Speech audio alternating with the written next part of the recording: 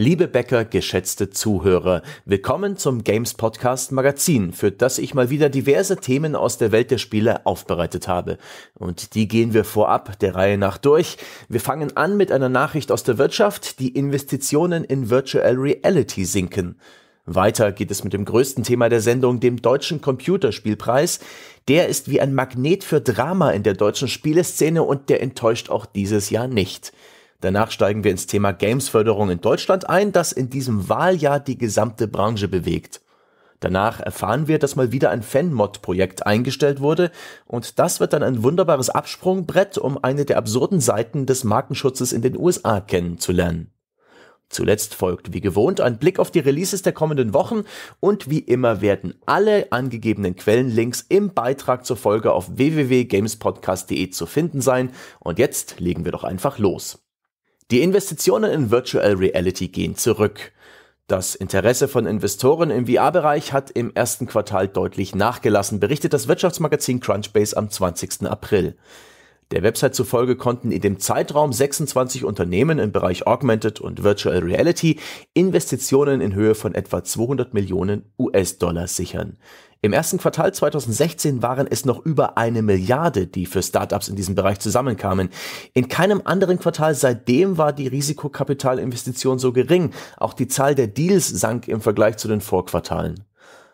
Das sind doch interessante Zahlen. Ich bin aufmerksam geworden, denn ich habe lange keinen Blick mehr auf diesen VR-Bereich, erst recht nicht auf den wirtschaftlichen Aspekt geworfen, und da war ich neugierig. Warum das plötzliche Desinteresse?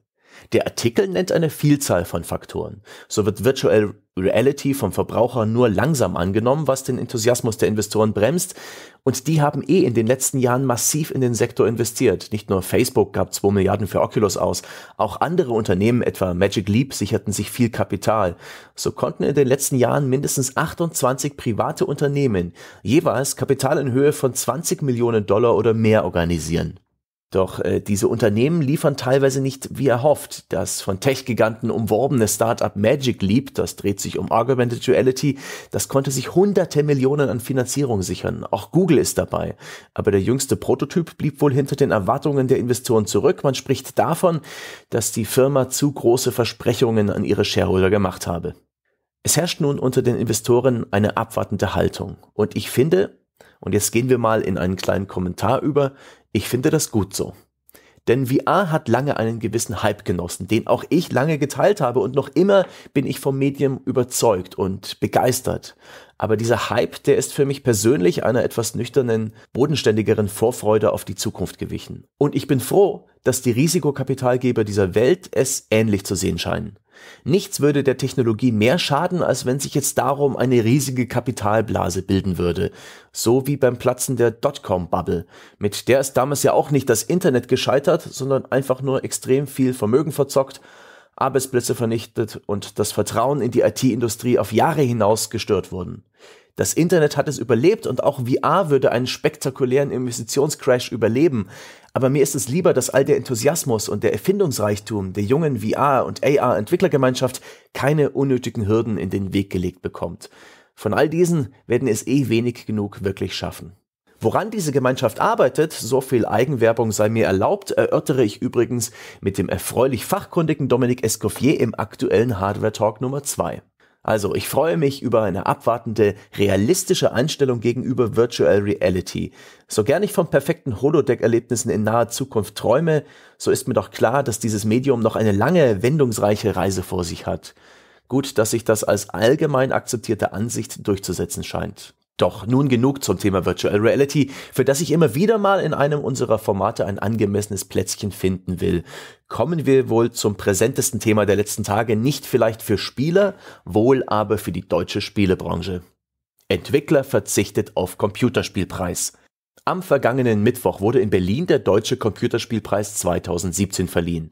Für Schlagzeilen sorgten allerdings nicht die Preisträger, sondern das Münchner Studio Mimimi Productions, das die Auszeichnung für das beste Game Design auf der Bühne mit den Worten Wir nehmen heute Abend keine Preise an ausschlug und das auf das in dieser Kategorie ausgelobte Preisgeld von 40.000 Euro verzichtete. Grund für diesen Eklat waren offensichtlich Unstimmigkeiten bei der Auszählung der Jurystimmen. Schon vor der eigentlichen Veranstaltung kursierte in Branchenkreisen eine vertrauliche Mail des Game-Verbandes, der diesen Preis zusammen mit dem zweiten Branchenverband BIU und dem Ministerium für Verkehr und digitale Infrastruktur trägt. Dieser Mail zufolge sei es bei den Abstimmungen der für die Preisträger ausschlaggebenden Hauptjury zu Unstimmigkeiten bei der Stimmabgabe gekommen.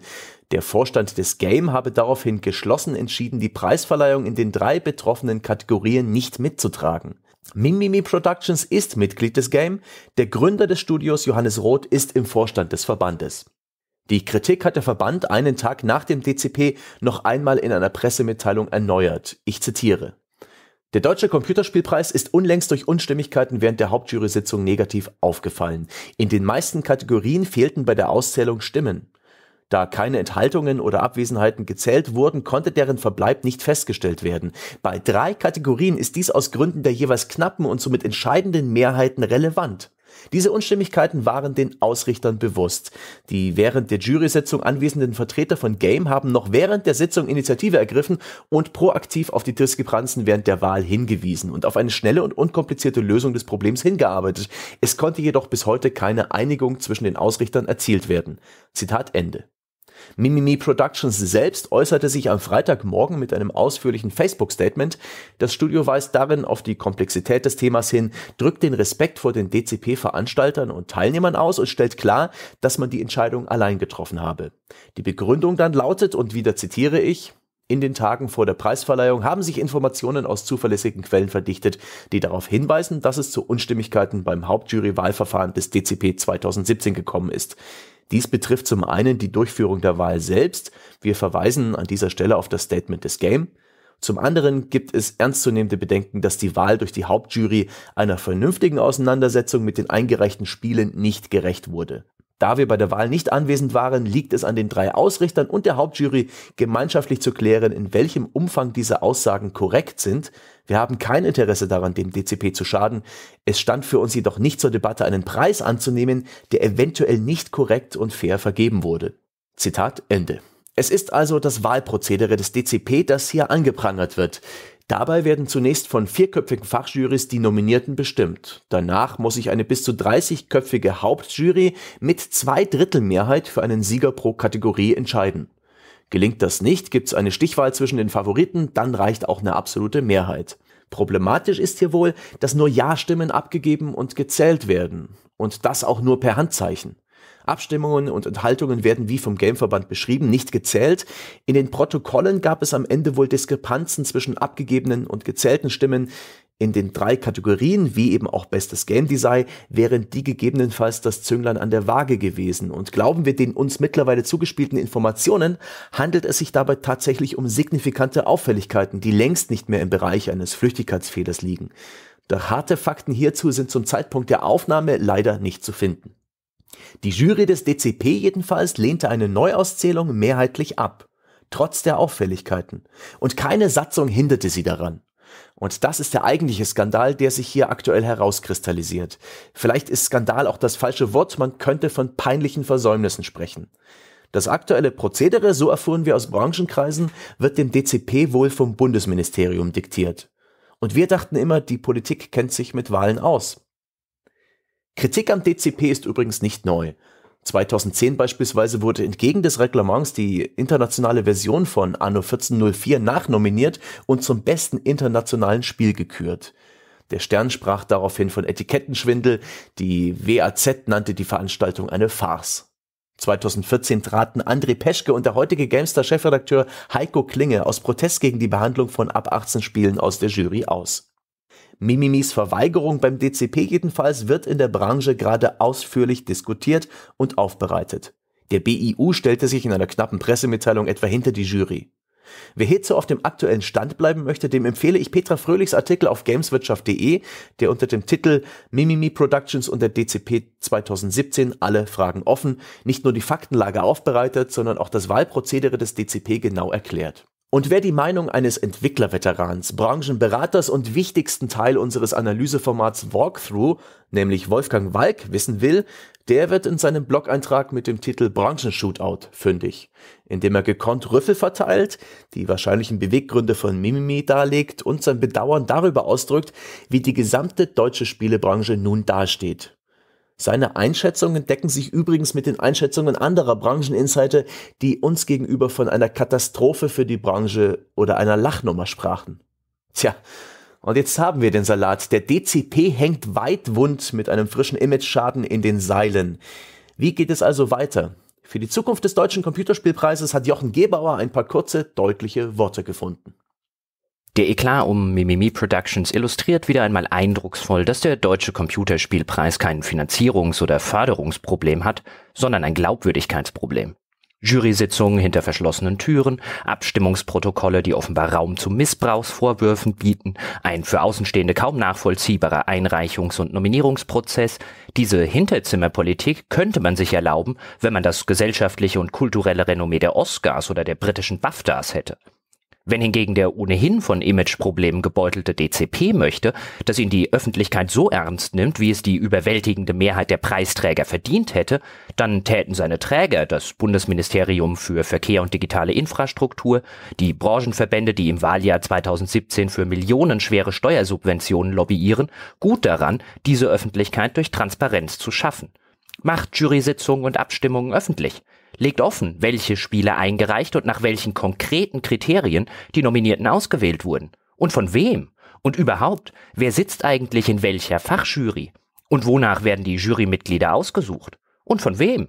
Und warum muss man diese ganzen Fragen überhaupt stellen? Warum beantworten die offiziellen Kanäle des DCP keine einzige davon zufriedenstellend? Transparenz schafft Öffentlichkeit und Öffentlichkeit schafft Vertrauen. Solange der Deutsche Computerspielpreis und seine Protagonisten kein Interesse an Transparenz haben, solange wird die Öffentlichkeit kein Interesse an diesem Preis haben. Debatte um deutsche Gameförderung entfacht erneut. Die Spieleförderung in Deutschland muss besser werden. Das fordern gleich mehrere Branchenverbände und das teils schon längere Zeit. Im Vorfeld des Deutschen Computerspielpreises wurde diese Debatte neu entfacht, und zwar gleich von mehreren Seiten. So kündigte der Game-Bundesverband am 24. April im Rahmen einer Pressemitteilung die baldige Vorstellung eines Förderkonzepts an, mit dem Fördermittel in Höhe von 100 Millionen Euro vergeben werden sollen.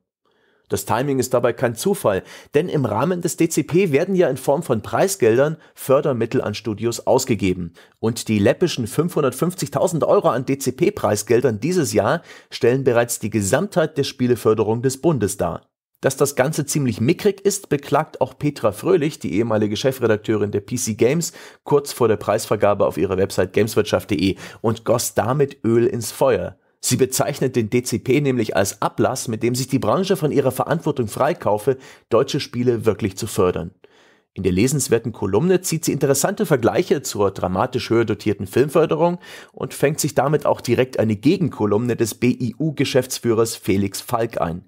Der will die Filmfonds, bei dem der Erfolg der Projekte berechenbar ist, nicht mit der riskanten Spieleförderung verglichen sehen und er weist auf den BIU-Vorschlag der Förderung durch Steuererleichterung hin.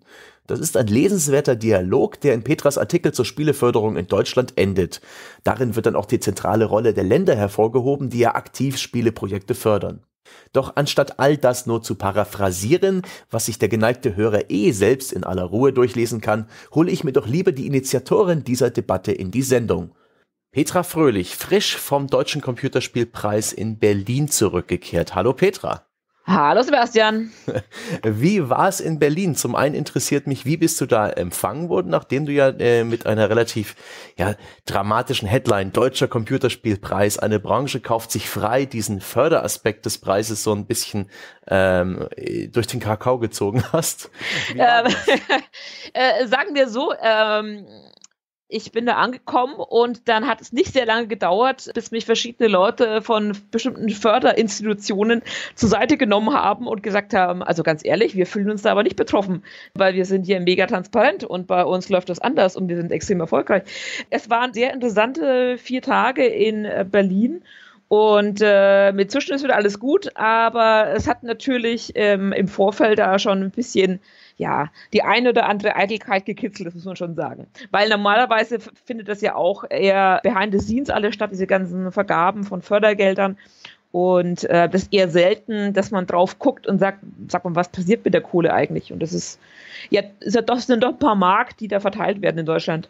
Und du hast ja auch in deinem Artikel so ein bisschen zurückgeblickt in die Vergangenheit, damals als auch die PC Games, da erinnere ich mich als Leser noch, ähm, gegen eine vermeintliche Spiele-Zwangssteuer ähm, ins ja. Feld gezogen ist.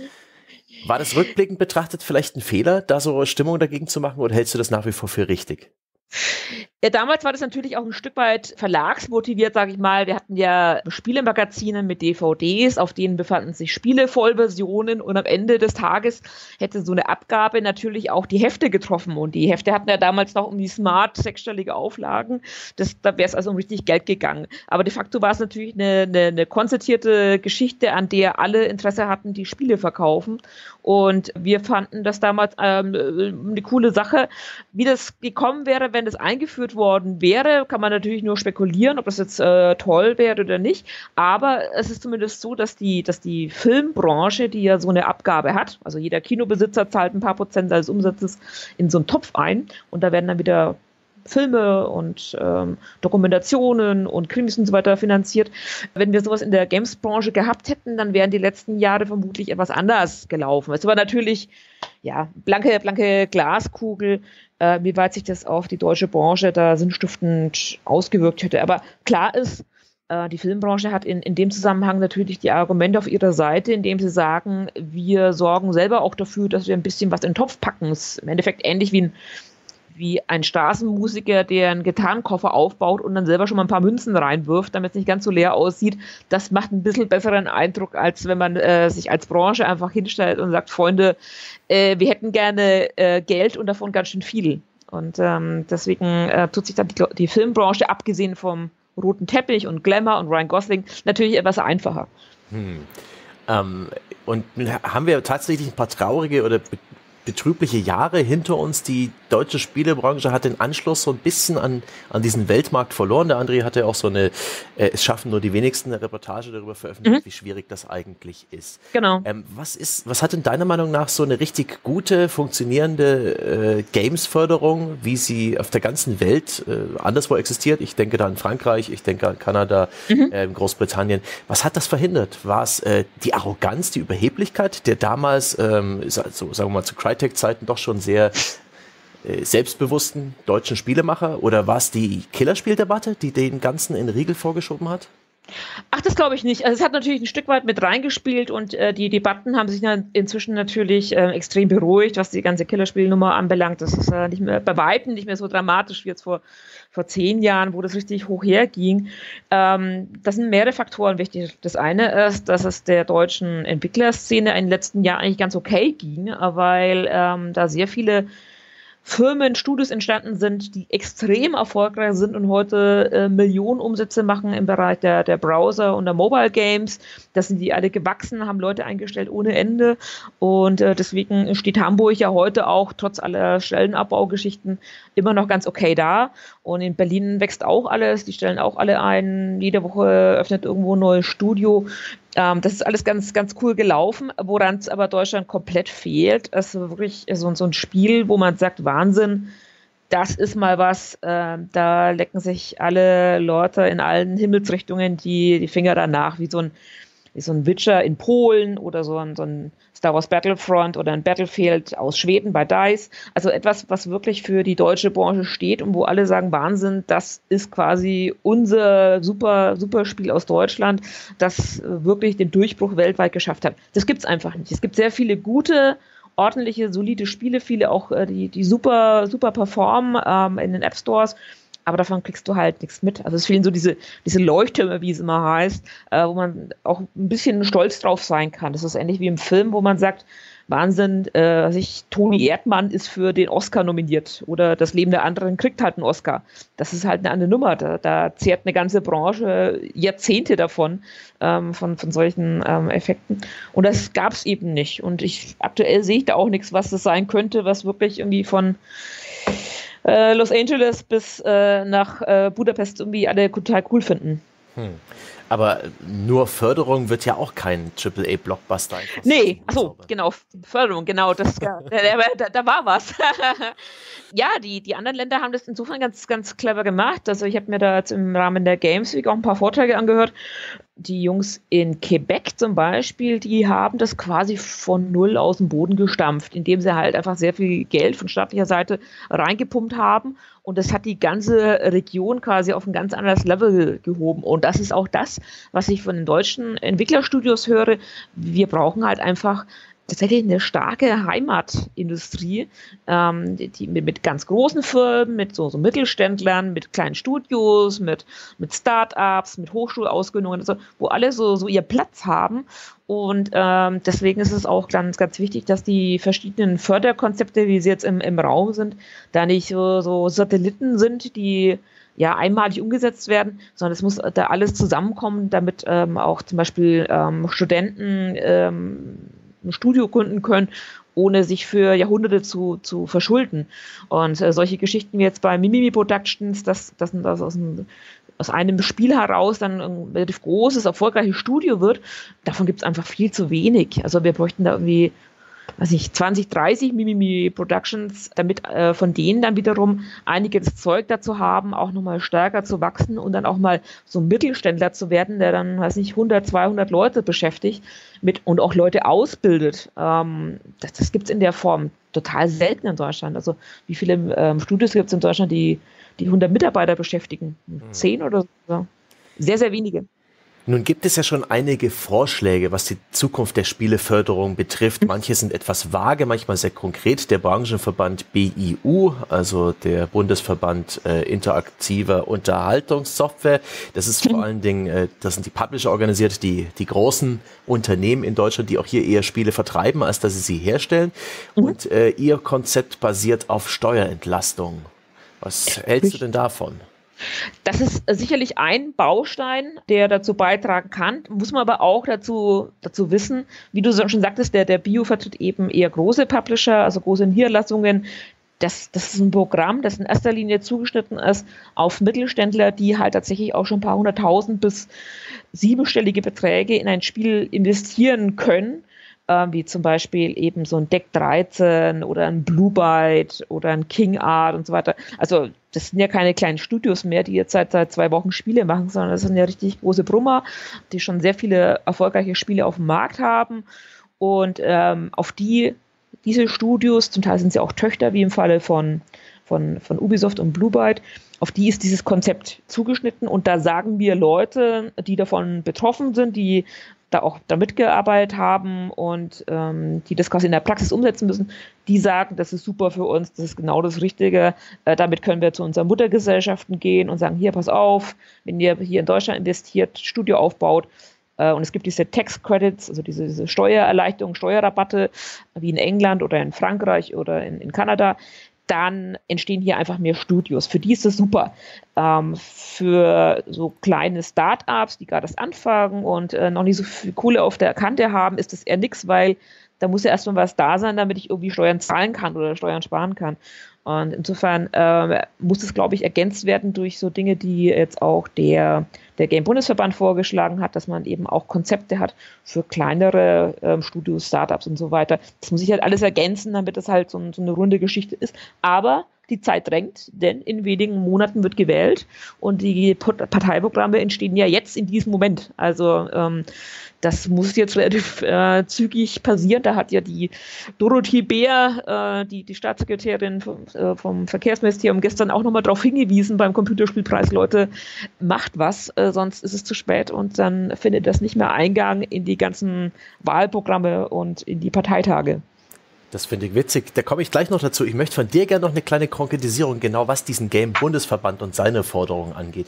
Also, ja. wie du schon beschrieben hast, das sind eher Entwicklerstudios äh, mhm. drin ver versammelt, unter anderem ähm, auch diese genannten Mimimi Productions ähm, und, und, viele andere kleine mittelständische Unternehmen. Und unter mhm. der Headline Deutsche Games-Branche auf dem Weg in die internationale Bedeutungslosigkeit hatte man dieses Förderkonzept vorgestellt äh, mit einem Fördervolumen von 100 Millionen Euro. Und da gibt es so viele so Stichpunkte, zum Beispiel die Verteilung der Mittelanwendung äh, 20 Prozent auf Konzepte und Prototypen, 60 Prozent mhm. auf Projekte, 10 Prozent Infrastruktur, 10 Prozent Forschung ähm, und die Unterscheidung zwischen selektiver und automatisierter Förderung. Aber äh, was ich da nicht rausgelesen habe aus diesem Förderkonzept, ich weiß nicht, ob es da noch dieses eigentliche Konzept noch mal irgendwo existiert. Das scheint wohl in zwei Jahren erarbeitet worden zu sein.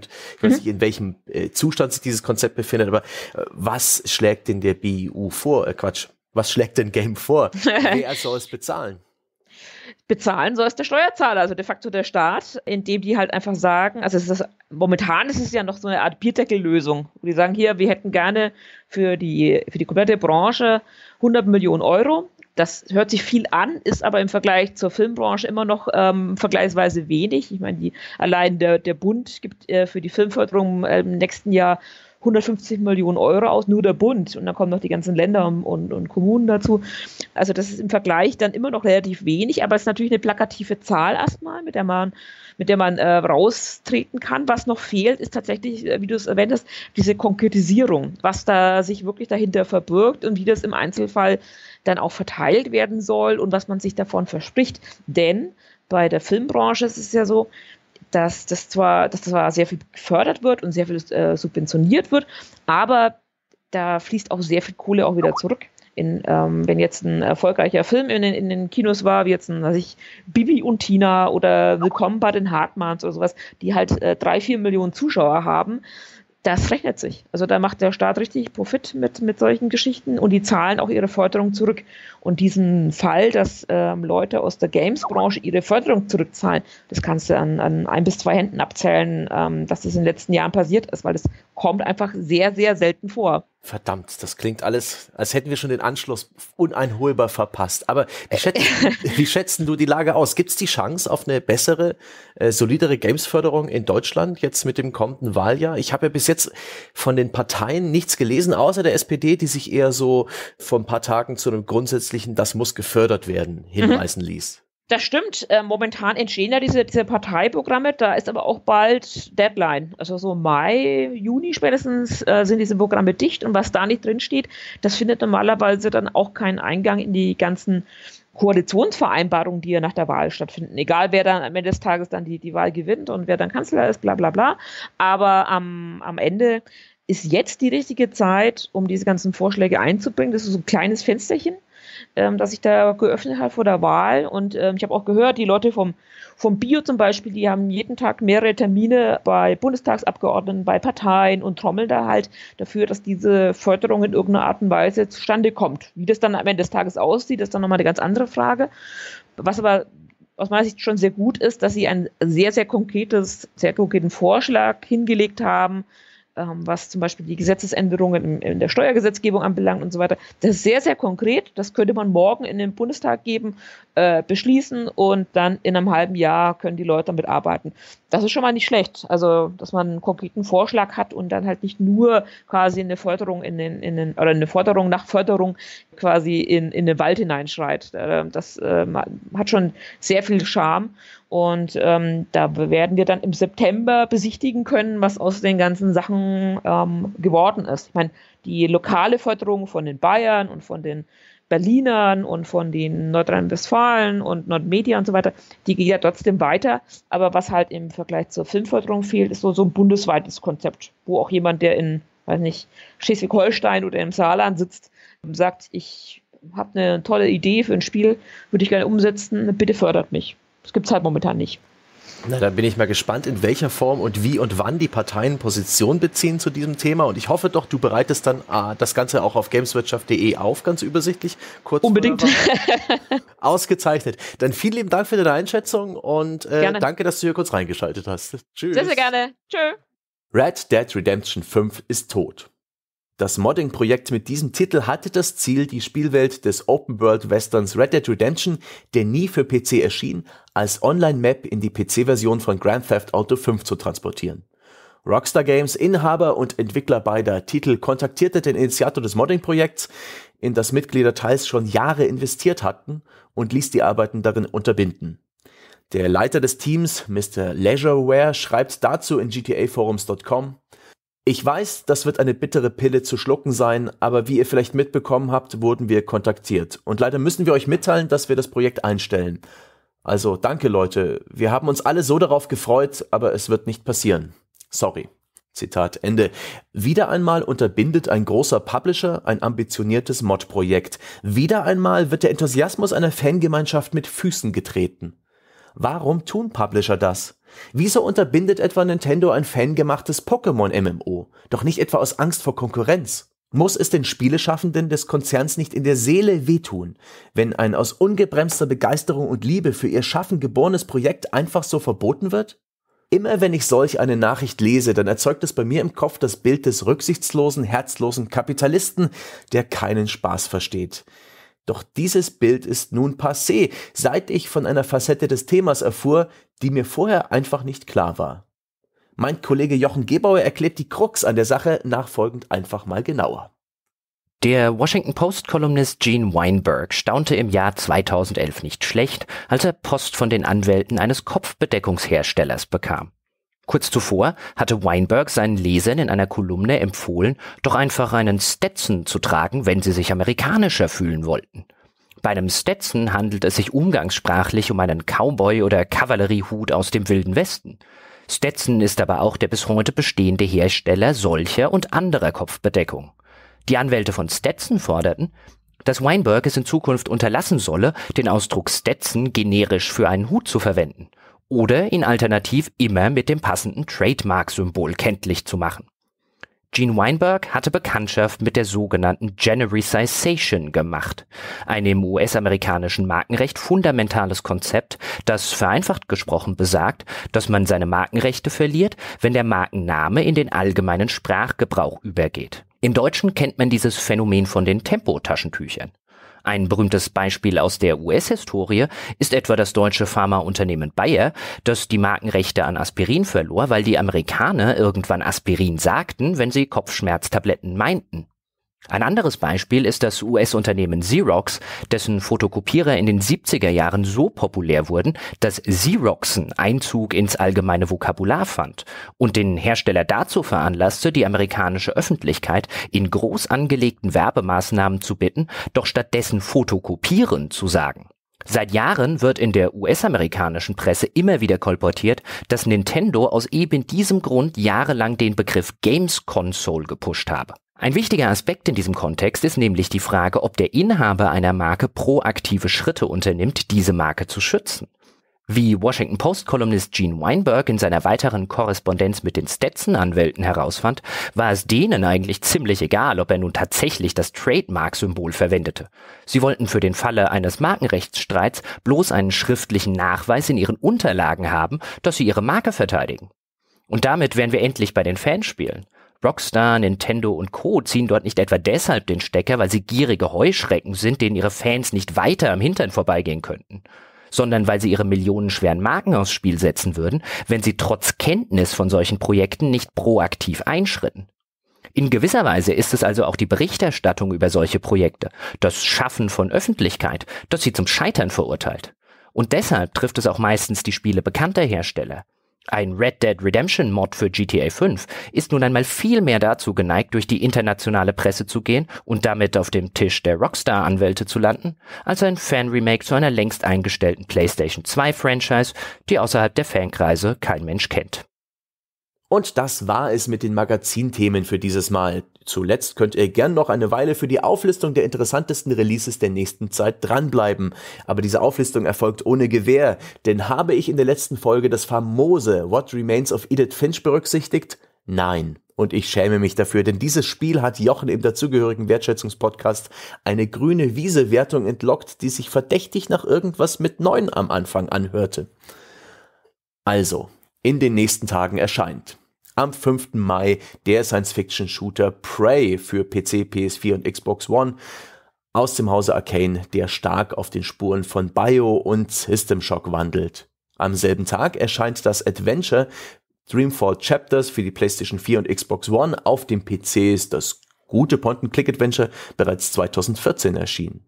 Am 8. Mai dann Birthdays The Beginning. Das ist ein japanisches Spiel im klötzchenhaften Minecraft-Look, in dem man eine Landschaft formen und entwickeln muss und dann zuschauen, wie ein kleines Ökosystem entsteht. Sieht sehr schrullig und schräg aus, erscheint für PC und PS4. Am 9. Mai dann erscheint Strafe, ein Retro-Shooter und Kickstarter-Erfolg vom Februar 2015, der mit Lo-Fi 3D und viel Blut hausieren geht, ebenfalls für PC und PS4. Am 16. Mai dann erscheint The Search von Deck 13, ein Souls-inspiriertes Science-Fiction-Action-Rollenspiel für PC, PS4 und Xbox One. Damit wären wir am Ende. Vielen Dank fürs Zuhören. Vielen Dank für die Unterstützung unseres Projekts bei Patreon. Ich hoffe, auch diese Folge war hörenswert und interessant. Bei Fragen, Feedback oder Kritik oder einfach nur Lust am Austausch zu allen Spielethemen sei euch unser weltbestes Spieleforum unter forum.gamespodcast.de als Ventil ans Herz gelegt. Bis zum nächsten Mal.